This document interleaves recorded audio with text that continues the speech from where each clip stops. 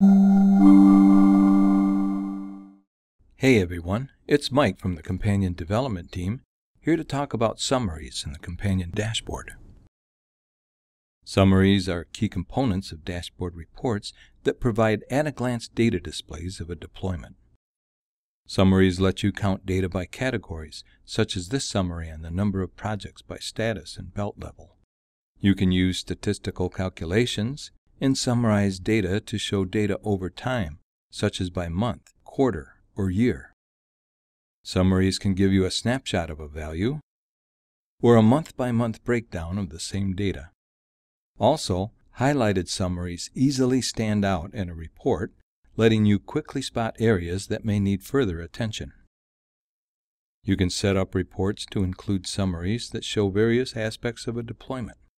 For example, these summaries focus on the year-to-date hard savings of black belt and green belt projects, while these summaries show a detailed breakdown of that information. At the same time, you can see the project activity for both groups. Now that you have an idea of what summaries can do, let's take a look at the components used to create one. The Summary Editor contains six tabs that help you create the summary. In Step 1, you can choose one variable or multiple variables you want to summarize. Step 2 provides two options to view the time component of your variables, trend and snapshot. Choose trend to see how your variables change over time, or snapshot to see data for a single time period. Step 3 lets you summarize data across groups, for example, you might want to compare hard savings across business units. Step 4, the subset step, lets you define a subset of projects that you want to include in the summary. For example, you could create a subset that only includes projects that are in progress or not yet started. Step 5, the target step, lets you specify a single value or a range of high, medium, and low values so you can quickly see where you stand in relation to your goal. Step 6 is where you can customize the way your summary looks. Using the Settings tabs, you can modify the summary settings, table settings, or graph settings.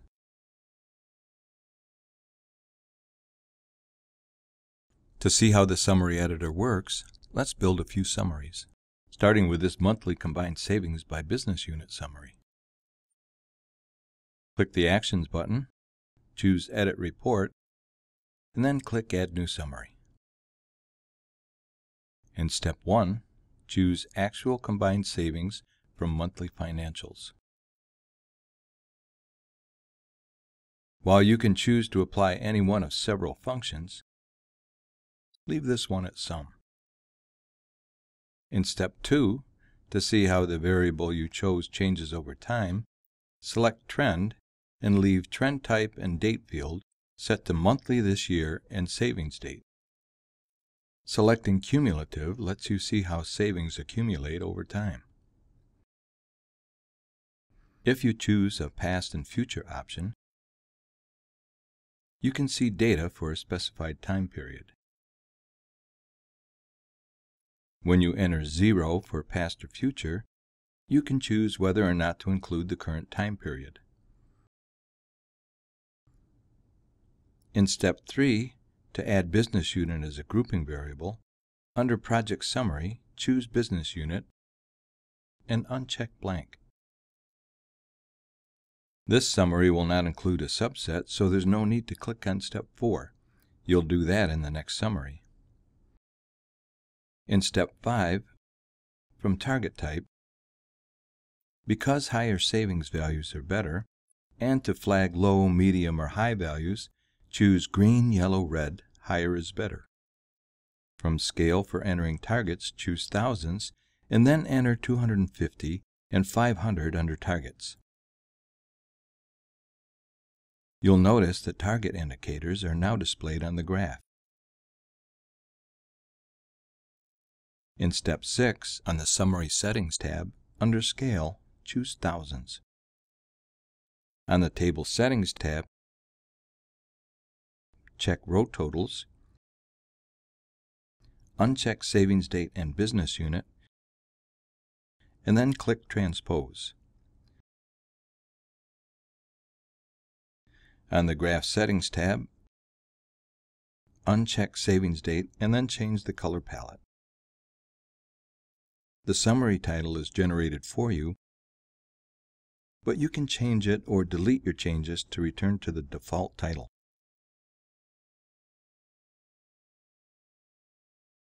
You can also edit the subset details footnote if it's present. Click Done. For each cell in the table, the color quickly identifies which target bin each value falls into. Next, Suppose you are responsible for the commercial cleaning and office supplies units, and you've set up the combined annual savings target for those two units at 17.5 million. Enter this as a yearly target to help you see how you're doing year to date against that target. To build a summary showing year to date combined savings for the two units, click Add New Summary again. In step 1, from monthly financials, choose actual combined savings and leave the function set to sum. In step 2, select snapshot and choose year to date from snapshot type and leave the date field set to savings date. You won't select anything in step 3, the group step, for this summary.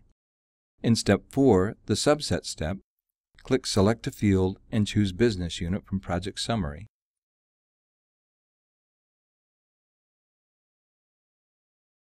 From Condition, choose Is Any Of and select Commercial Cleaning and Office Supplies from Value.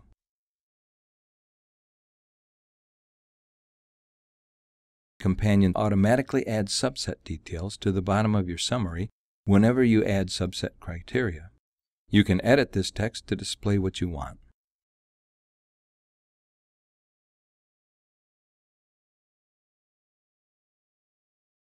In step 5, the target step, to see your year-to-date standing against your annual combined savings goal of 17.5 million, choose green, red, higher is better from target type. Next to targets for each year, click Same. Under Scale for entering targets, choose Millions.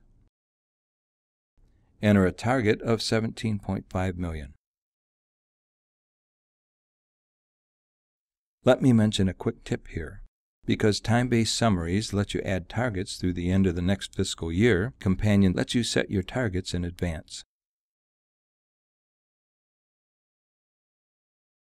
In Step 6, under Summary Arrangement, Choose Table on Right, uncheck Year to Date, and change the title to read Total Combined Savings, YTD, for year to date. Click Done.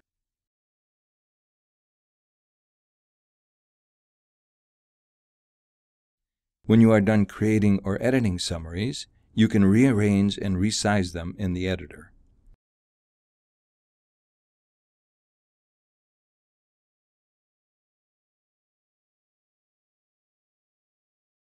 Then you can save the report.